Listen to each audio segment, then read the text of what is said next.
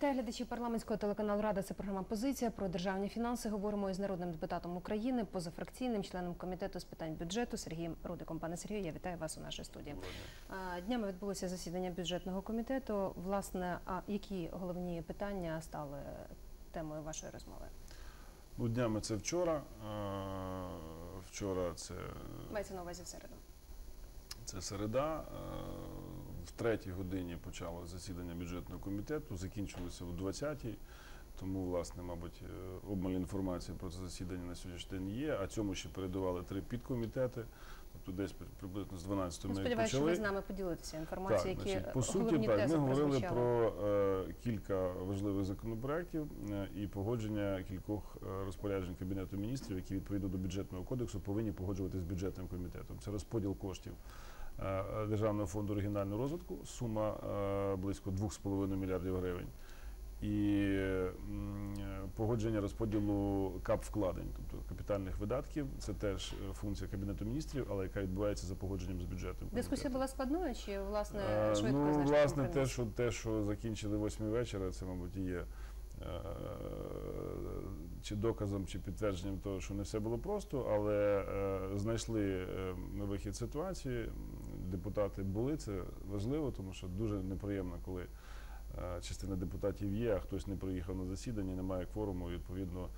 е, Всі страждають від цього. Мені приємно відзначити, що е, на фоні не знаю, не хотів би там коментувати відсутність моїх колег з інших комітетів. Бюджетний комітет працює злагоджено і завжди, коли є нагальна потреба, нас просить уряд вийти в надурочний час і працювати вночі, як це, наприклад, було наприкінці минулого року, коли приймався складний бюджет.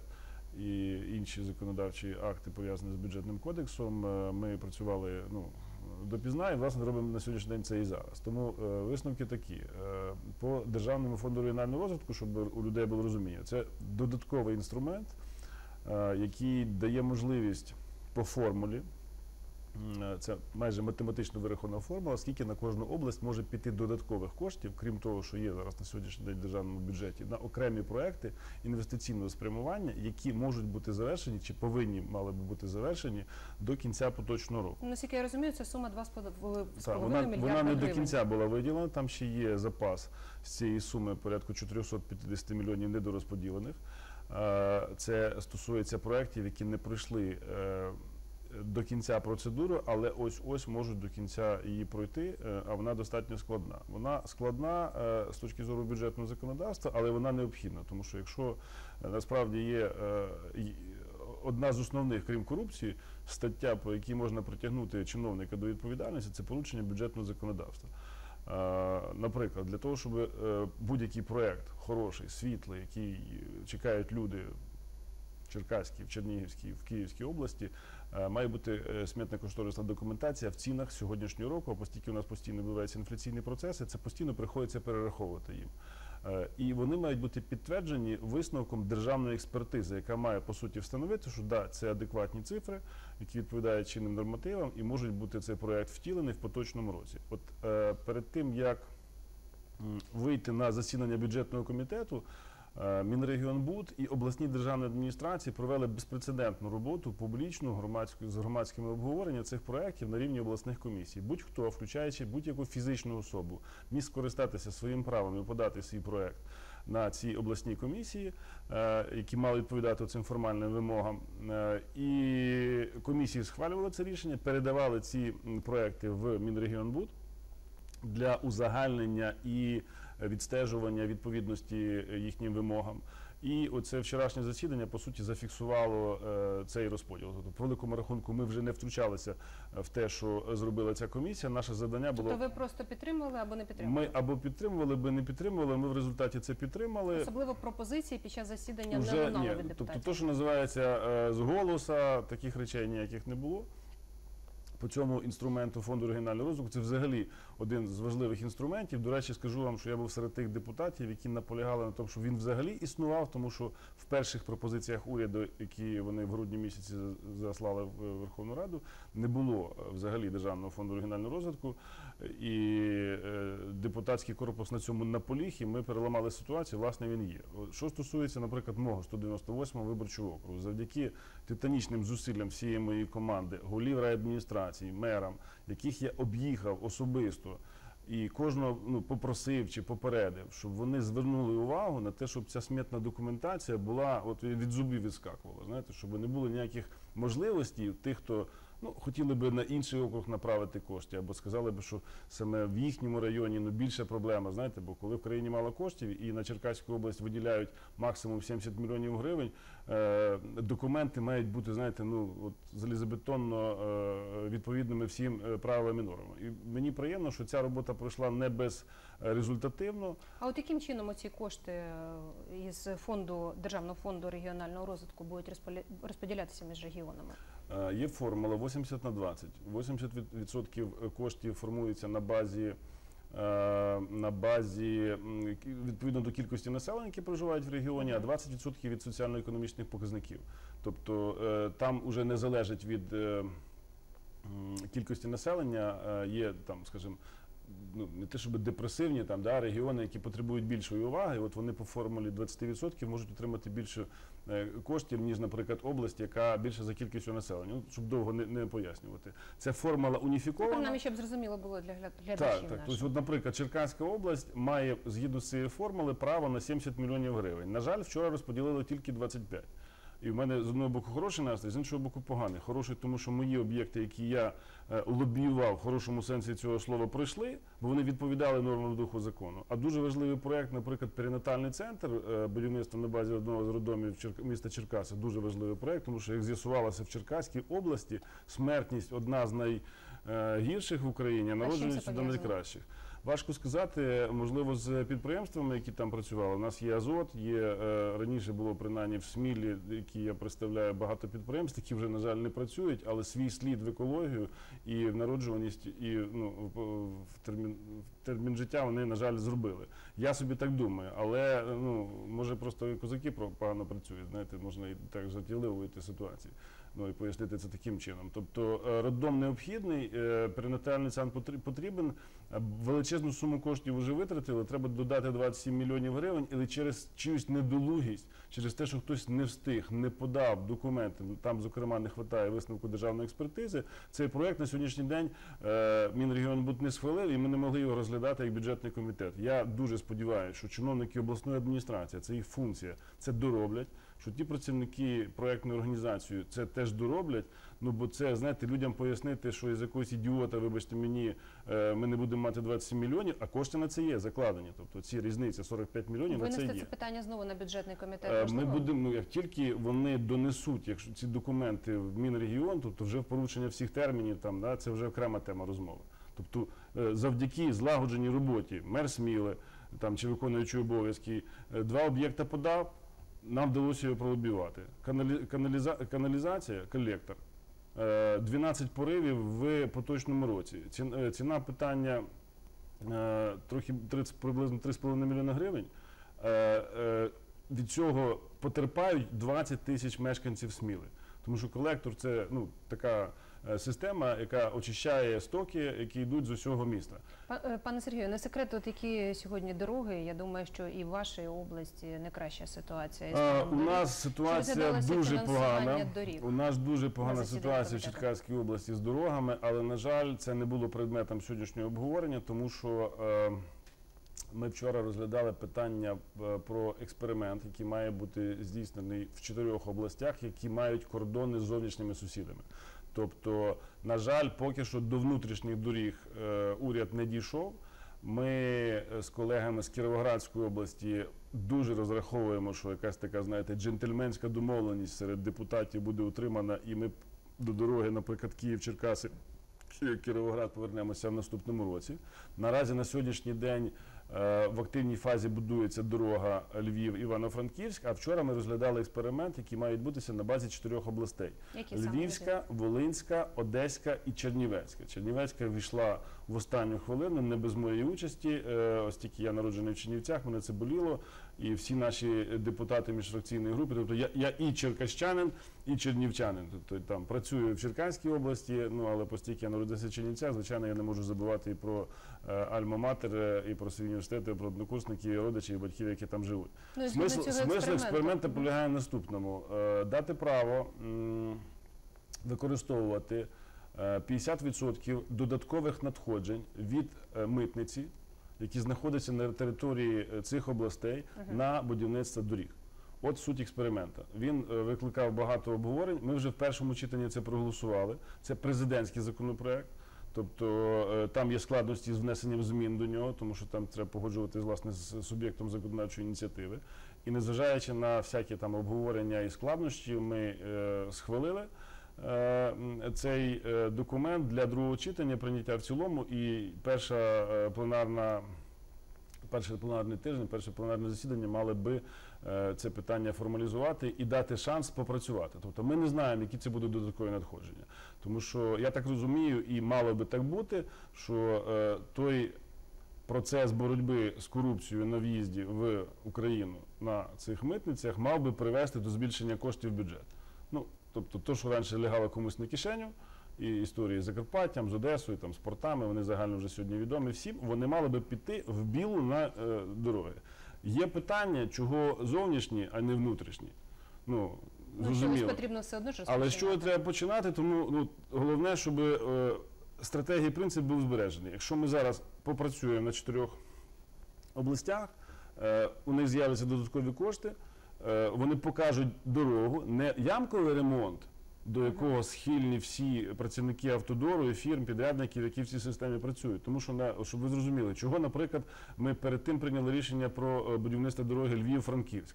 Е, На цю суму на цю е, потребу було виділено порядку 700 мільйонів гривень. Тому що перевірити якість цієї дороги набагато простіше, ніж ямковий ремонт по всій державі. Тобто, розумієте, е, за, за будівництвом цієї дороги зараз прикута величезна увага громадськості, і на етапі тендерів, е, зокрема, там дуже жорстка позиція членів нашого комітету зменшила е, пропозицію, яка власне перемогла на 100, здається, е, е, 40 мільйонів гривень. Які хотіли хтось просто розпилити, розумієте? Тобто це основна проблема, коли в бюджет закладається не сума робіт, які необхідна для виконання цих робіт, а так звана корупційна складова, яка розходилася завжди по кишеням. І це друга частина. Тому зараз, після того, от я зараз звертаюся до е, наших е, е, телеглядачів. Е, Слідкуйте, от будьте активними на етапі проведення тендерів, тому що це основна частина, коли е, то, що важкою ціною вибивається депутатом, е, головою місцевої адміністрації чи міським головою, якщо потім не відбувається прозорий тендер, і на ті ж навіть об'єкти, які, вибачте, мені важкою кров'ю вибили для потреб Кам'янки, Кам'янського району, Смілянського району там і Черкаського району, потім з'ясується, що зайдуть виробники там чи ну ті, хто надають послуги. Почнуть, вибачте, мені красти, е, як вони це робили при попередниках, такого вже не має бути. Але не в останню чергу це залежить від участі засобів масової інформації. Обов'язково прийдіть з камерою, обов'язково пройдіть пишучим журналістам, зафіксуйте, як відбувався тендер, вскрийте, по- по- ви маєте на це право. Подивіться на тендерні пропозиції, щоб не виявилось так, що Тобто саме головний етап, який потрібно контролювати, це, це другий етап, який треба контролювати після того, як визначається, кому надається, кому не надається. Тобто наскільки відповідають вимогам, е, ну, наприклад, інвестиційного конкурсу документи. Це трошки складніше для журналістів. Да. Другий дуже важливий етап це тендер, і третій це вже виконання робіт. Якщо це дороги, їздьте кожен тиждень і дивіться, як працюють підрядники. От просто підходьте, навіть якщо ви в цьому нічого не розбираєтесь, задавайте питання. Повірте мені, я як депутат-мажоритарник, як кандидат історичних наук, маю три вищих освіти. Але я ніколи до цього не займався дорогами. Але я розумію, що якщо я не буду в цьому розбиратися. Ну то я не зможу пояснити ні собі, ні людям. Е, я починаю з'ясовувати, яка там має бути подушка, яка ну це, термінологія будівництва дороги, скільки має бути сантиметрів, чим відрізняється то від того, які є матеріали. Ну щоб е, бо ці кошти, особливо коли в країні в стані війни, дуже важко даються кров'ю для держави. І, і, і я поступово стаю фахівцем в медицині, е, в освіті, ну і, і, так далі. І так далі. Так би мав робити кожен. Ну це справа до. Персонально до кожного депутата, тобто ти поступово стаєш е, домом совєтів, е, бо до тебе на, на прийоми приходять велика кількість виборців, і вони задають всі питання, які їх цікавлять. І якщо депутат буде сидіти і казати, да, я пораджуся з одним, пораджуся з другим, звичайно, це не буде додавати йому балів. Я за час у цих так званих канікул трьох тижнів був в дев'яти селах свого округу з публічними звітами. Тобто, це так само е, коректива чи на запитання, на яких каналах перебувають депутатам. Вважаю, що можна суміщати хороше з не дуже хорошим, тому що спілкування сьогоднішній день з людьми це малоприємна справа. Відверто вам скажу, багато гострих запитань е, люди задають незалежно від того, депутат в опозиції чи в коаліції. Мусиш з усіма тактовно нормально спілкуватися і вирішувати безліч питань, які сьогодні цікавлять людей. Як власне сьогодні триває процес децентралізації? От е, на прикладі вашого округу? На прикладі мого округу я маю і хороші, і погані приклади. У мене три райони в моєму окрузі. Е, Сміла, Смілянський район, місто Сміла 68 тисяч населення, 32 тисячі населення Смілянський район. Поруч є Кам'янський район, 27 тисяч населення і майже така сама територія, як в Смілянському районі. Так от, за планом об'єднання територіальних громад, які передують власне процесу децентралізації, створення цих громад, в Смілянському районі запроєктовано 6 громад де 32 тисячі населення, а в Кам'янському районі одна. Ну, тобто якийсь там ідіотизм в квадраті, розумієте? І, а мало би бути ну, мінімум три. І поясни, ну, по суті, мова йде лю- про волюнтаризм, про те, що хтось, знаєте, там замовив районне знищення. Я так розумію, тому що ну, нема, якщо одна громада, то це найбільш логічна тема, що його потім приєднають до якогось району. Тому що ті, хто запланували децентралізацію, ж озвучили позицію, що буде в результаті не райони, а повіти. Цих повітів буде, здається, 100, е, там 100, е, 100-150, там остаточної цифри на сьогоднішній день немає. Але це буде ну, скорочення в 4 рази. Але суть навіть не в тому. Е, Суть в тому, що як ти людям це поясниш. Як може бути? Тобто децентралізація це наближення послуг до е, конкретної людини. Відповідно, має бути відносно невелика відстань між центром нової громади і крайнім селом цієї громади. Наприклад, я думав, це 10, можливо, 15 кілометрів. Максимум. Тобто має бути максимально зручна можливість людині доїхати за отриманням послуг е, будь-яких. А по суті, е, залишається та сама система. Районна адміністрація міняється на центр громади Кам'янський, Кам'янського району, і люди так само з дальніх сел будуть їздити на відстань 20-30 кілометрів. Е, Тобто для них в житті нічого не міняє. Ну а що стосується фінансової політики? Що стосується фінансової політики, то теоретично виглядає, що це плюс. Тобто ми рахували, ну, я ж кажу, є позитивні приклади, є негативні приклади. Є Черкаський район, яка є частиною мого теж округу. Я брав участь в великому громадському обговоренні створення одної громади на базі села Леські. От. Коли це все об'єднання відбудеться, е, мінімум, що отримає е, оновлена громада, буде плюс півтора мільйона гривень. Для сьогоднішнього села це немалі гроші. І це безперечно плюс. Але проблема полягає в тому, що коли людям не пояснили, не розжували, не провели додаткових обговорення, вони не вірять навіть в хороші речі. Тобто влада е, ну, повторює помилки е, своїх попередників, коли е, ставить селян, містян перед фактом, а могли би то саме зробити і отримали зовсім інших результатів. Оце громадські слухання, які в Леськах відбувалися, на початку по аудиторії було чоловік 200. Е, За і проти було 80 проти, приблизно я собі на око оцінював, 20 за. Після двох-трьохгодинного обговорення співвідношення сил було приблизно 70 за, а 30 проти. Просто з людьми переговорили, і вони зрозуміли ну, переваги. Да, у них все одно є якісь відчуття небезпеки, чи воно все відбудеться так, як хочеться. Ну але вже е, зовсім і е, інший рівень довіри. Тим більше ж за перші півроку бюджет показав, що в результаті децентралізації сам я, будучи скептиком в грудні місяці, за деякі речі не голосував. Я міняю свою позицію, бо я бачу додаткові доходи, які отримують місцеві бюджети. І ця сума не маленька в межах держави, що говорить про те, що загальний напрямок правильний. Тому власне я голосував за зміни до конституції частини децентралізації. Зрозуміло. Пане Сергію, і дуже коротко скажіть, будь ласка, додаткові кошти чи отримує е, освіта, культура в цьому році, оскільки питання капіталу я- вкладення також є- е, звучало на засіданні Значить, комітету. е, кап вкладення ми розподілили вчора суму приблизно е, в районі 800 мільйонів гривень. Значить, серед них є, дивіться, Міністерство внутрішніх справ 20 мільйонів гривень. Це спецавтотранспорт для патрульної служби. Мінкультури отримало 25 мільйонів гривень на дуже важливу статтю, якої ніколи не вистачає в, в бюджеті. Реконструкція пам'яток культури, які у нас в жахливому стані. Міносвіти отримали додатково на е, ремонт корпусів е, приміщень учбових закладів е, трошки більше 20 мільйонів гривень. Мінрегіон БУД отримав е, 110 мільйонів гривень, і Державна фіскальна служба отримала 125 мільйонів гривень. Окремо ще Міністерство фінансів отримало велику суму 561 мільйон, але це не, ну, не для них коштів, а для того, щоб вони їх перерозподілили на субвенцію для підтримки ну, такої програми соціально-економічного розвитку регіонів. Тобто, коли говориш про бюджетний комітет, у середньостатистичної людини після 10-15 хвилин по суті пухне голова, тому що ну ти починаєш сипати з цифрами, термінологіями, які ну середньостатистичній людині маловідомі. Але і капвкладення, і фонд регіонального розвитку це додаткові можливості підтримати.